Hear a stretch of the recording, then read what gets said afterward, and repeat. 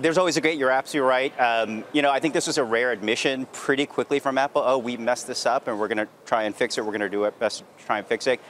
Because there's so high expectations with Apple from the consumer side, any, any little thing, there's going to be like, oh, we don't trust Apple anymore. But guess what? They keep upgrading and buying these iPhones.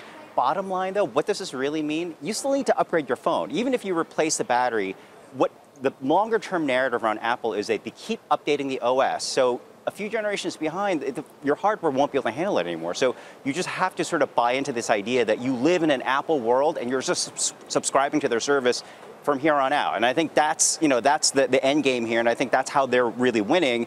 If as a consumer you don't like that idea, you should just switch platforms because you're, you're stuck in it forever. You're going to always have to upgrade.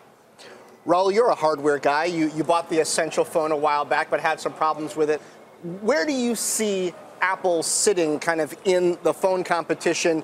How big a deal is this battery issue? I mean, Samsung had a much bigger battery issue a year plus ago. Yeah, I, I, agree. Look, I think Apple is just becoming a nicer company. Look, this is not something they would have done under Steve Jobs. Um, you know, they're, they're basically admitting a mistake and they're fixing it, and they're going above and beyond to fix it. I'm not an Apple guy. I've, I do not use an Apple phone. My kids do. I, am I'm, uh, I'm an Android person, but, but I would say I think Apple is generally becoming more friendly. They're making acquisitions uh, in, in all sorts of spaces uh, that they never would have done before, such as AR, VR, things like that. And, uh, and this move to me just makes them into a, a nicer uh, Tim Cook company.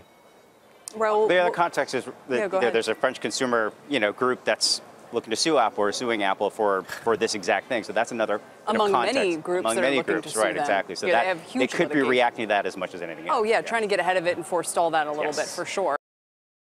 Hey there, thanks for checking out CNBC on YouTube. Be sure to subscribe to stay up to date on all of the day's biggest stories. You can also click on any of the videos around me to watch the latest from CNBC. Thanks for watching.